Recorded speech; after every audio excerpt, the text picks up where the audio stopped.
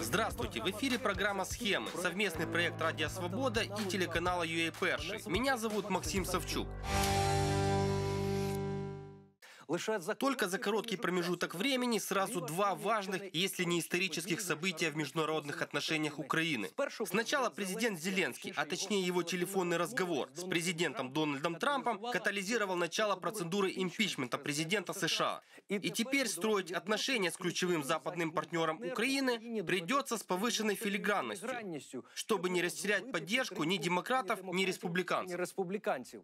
Глава Комитета по разведке Палаты представителей США заявил, что Конгресс хочет получить доступ к телефонным разговорам Дональда Трампа. Белый дом опубликовал содержание телефонного разговора Трампа с Зеленским. Трамп настоятельно попросил украинского коллегу открыть расследование против бывшего вице-президента США и, вероятно, ключевого оппонента на выборах в следующем году Джо Байдена. И Зеленский, как следует из его ответа, говорит, что новый генеральный прокурор Украины от его политической силы, цитирую, посмотрит на ситуацию и на кампанию, которую упомянул Трамп. Импичмент президенту США. Во вторник спикер американского конгресса Нэнси Пелоси заявила о запуске этой процедуры. Серьезные подвижки и на восточном направлении. Украина так и согласовала в Минске так называемую формулу Штанмайера, что понравилось далеко не всем. Шаг к окончанию войны или капитуляция? Украинская делегация в Минске подписала формулу Штайнмайера. Содержание формулы Штайнмайера, подчеркнул президент, не предусматривает капитуляции. Это касается проведения местных выборов на Донбассе под контролем ОБСЕ и по законам Украины. Никаких выборов под дулом пулеметов не будет. Если ОБСЕ подтверждает демократическое волеизъявление, в ОРДЛО вступает в силу временный особый статус. А под Верховной Радой сегодня митинговали ветераны АТО и представители нескольких политических сил. Я не хочу слышать о формуле Штайнмайера, которой не существует в природе просто. Владимир Зеленский пришел в реальную политику меньше года назад. И не секрет, что его решения в значительной мере зависят от советов ближайшего окружения. И сейчас особенно интересно, кто именно помогает Владимиру Зеленскому формировать отношения с другими странами. Кто возглавлял украинскую часть группы по обмену пленными и летал за освобожденными украинцами в Москву? Кто встречался с адвокатом Трампа Джулиани и летал с Зеленским на Генассамблею ООН в Нью-Йорк? Кто от Украины встречался с помощником президента России Сурковым в Берлине и Париже? Это Андрей Ермак. Он занимает должность с лаконичным названием «помощник президента», но полнее ее суть заключается вот в чем. Ключевым человеком на российском и американском направлении является Андрей Ермак. Главный поверенный Офиса президента по международным делам. В офисе президента Украины он активно занимается международным направлением. Главный переговорщик Зеленского. Несмотря на влиятельный статус и большую ответственность, Андрей Ермак мало известен широкой общественности. Имея должность помощника главы государства, он не государственный служащий. Его декларацию не найти.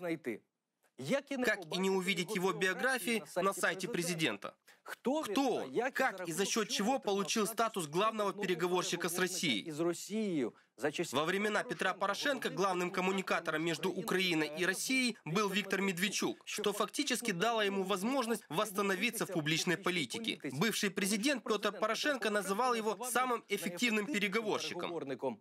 Мы пытались использовать разные каналы коммуникации начиная от военных и заканчивая церковью.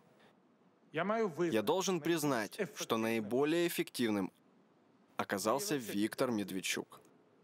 У Медведчука были прямые выходы на Кремль. Его дочь Дарина является крестницей президента, президента РФ Владимира Путина и супруги главы правительства РФ Дмитрия Медведева. Поменялся президент и, похоже, поменялся главный переговорщик украинской власти с Россией. Почему именно Андрей Ермак? Есть ли у него интересы и связи с Россией? С кем из политических деятелей в Российской Федерации он может коммуницировать? И кто эти люди? Мы начали искать ответы, анализируя структуры компаний, напрямую связанные с Андреем Ермаком. И этих компаний оказалось немало. Бизнес-интересы Ермака очень широкие. Их можно условно поделить на несколько групп. Во-первых, это кинематограф. Ермак продюсировал украинские киноленты «Правила боя» и «Граница». Европа нам верит, и мы Европу не подведем. Есть компании, причастные к фармацевтическому бизнесу, международному праву, бизнес-консультированию и охране. Но все это в Украине. И в отличие от Виктора Медведчука, никаких структур в Российской Федерации. Мы уже хотели развести руками, мол, тема закрыта. Однако, еще раз проанализировав компании Ермака, мы нашли в них человека, который может выполнять роль просто-таки золотого ключика для помощника Владимира Зеленского в политический деловой мир России. Вот о чем идет речь. В 2001 году в Украине была зарегистрирована фирма «Медийная группа Европейского партнерства», которая специализируется на производстве фильмов. В соответствии с данными системы YouControl, несколько лет назад ее бенефициарами были нынешний помощник президента Андрей Борисович Ермак и гражданин России Эммануилов Рахаим Ешаевич. Андрей Ермак и по состоянию на сегодня является бизнес-партнером Рахаима Эммануилова в другой компании ЗАО «Интерпромфинанс Украина», которая занимается коммерческим консультированием, а также в еще одном ООО МЕП. Кто тоже этот Рахаим Эммануилов, бизнес-партнер Ермака, и что о нем известно? Во-первых, он гражданин Российской Федерации. Официально российский ученый. Президент Фонда взаимодействия цивилизаций, который занимается социальными проблемами. Однако научное только одно из направлений его деятельности. В соответствии с данными реестра юридических лиц России, Рахаим Эммануилов является совладельцем компании Интерпромтор Москва, которая значится среди учредителей Интерпромбанка. И акционеры этого Интерпромбанка, скажем так, далеко не последние люди в России. Чего стоит крупнейший акционер Валерий Андреевич Пономарев, член Совета Федерации, Федерального собрания Российской Федерации от Камчатского края. Я могу сказать, что сейчас основной акционер а, а, Интерпромбанка а, является сенатор Валерий Пономарев. Угу. Это сенатор от э, Камчатки, который, с, который раньше был бизнесменом и сколотил свое состояние на монополии по производству автомобильных номеров и дорожных знаков. Эти фото Daily Mail опубликовала в 2015 году под сенсационным заголовком «Президент России выращивает виноградники в своем испанском доме». Издание утверждало, что у российского президента есть шикарный дом в элитном поселке Лаза-Галета на горе с видом на Средиземное море море. Указывалось, что на территории выращивается эксклюзивный виноград, здесь есть вертолетная площадка и гараж, в котором могут разместиться 22 транспортных средства. Однако через неделю Фонд борьбы с коррупцией Алексея Навального выпустил расследование, в котором опроверг причастность к этому имуществу самого Владимира Путина. Мол, документы указывают, что недвижимость принадлежит Зое Пономаревой, дочери члена Единой России и сенатора от Камчатки Валерия Пономарева. Получается, что партнер Андрея Ермака в украинском бизнесе владеет банком в России вместе с влиятельным и богатым единороссом, который заседает в парламенте России. Но и это еще не все. Возвращаемся к нашей схеме. У российского Интерпромбанка, связанного с бизнес-партнером Андрея Ермака, уважаемые не только акционеры, но и члены Совета директоров. Среди них Иван Садчиков, Хотя биографических данных Садчикова на сайте банка крайне мало, только указывается, что он закончил два института. Но вы точно слышали о секс-скандале, связанном с Настей Рыбкой, которая отдыхала на яхте так сказать, неформальной обстановке вместе с российским олигархом Олегом Дерипаской и первым заместителем руководителя аппарата правительства Российской Федерации Сергеем Приходько. Сергеем Приходько. Так вот, Сергей Приходько, который на протяжении всего президентства Владимира Путина только и делал, что менял одно высокое чиновническое кресло на другое, это тесть Ивана Садчикова, как пишут российские СМИ. Таким образом, ученый Рахим Эммануилов с одной стороны, бизнес-партнер помощника украинского президента Зеленского Андрея Ермака, Андрея Ермака, с другой имеет связи с российской властной верхушкой через Интерпромбанк. Интерпромбанк. Но есть еще один важный аспект его реноме.